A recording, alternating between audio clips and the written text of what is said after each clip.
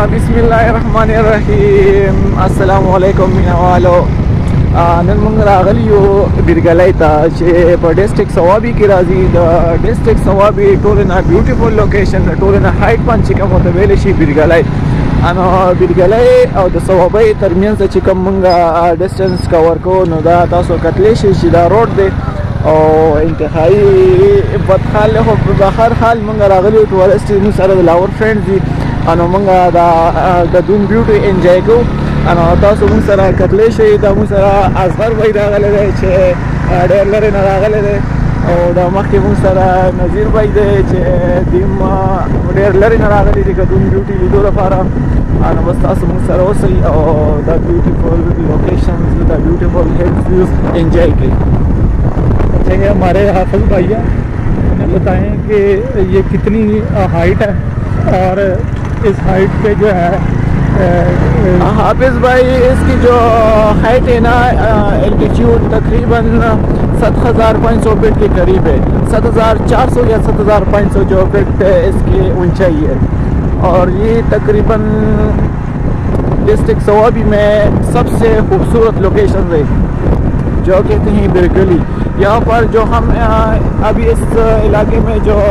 सफ़र कर रहे हैं तो यहाँ पर स्नोफॉल भी हो रहे हैं बहुत ज़्यादा अब इसका जो खूबसूरत आप तो कैमरे की थ्रू से आप देख सकते हैं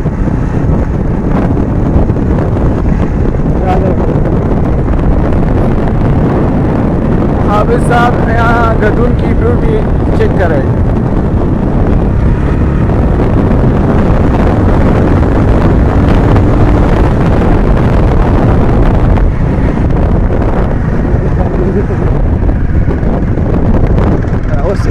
से ड्यूटी था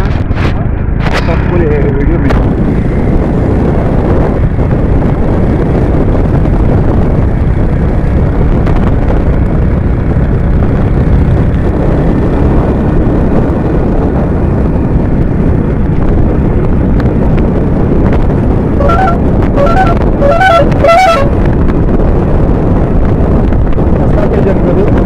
Huh? Stop it, gentlemen. Come on, چې مرګره د څو کارونه باندې وایي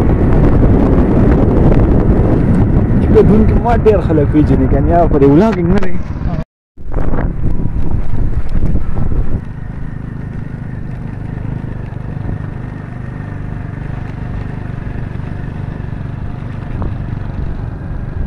ما دا خبر کوم چې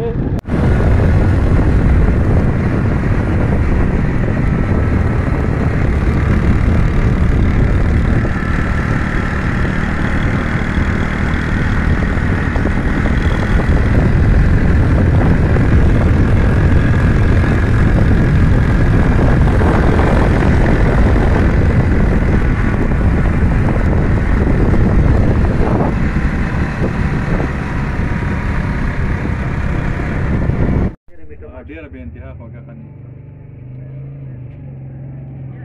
لا تاخذ في زمن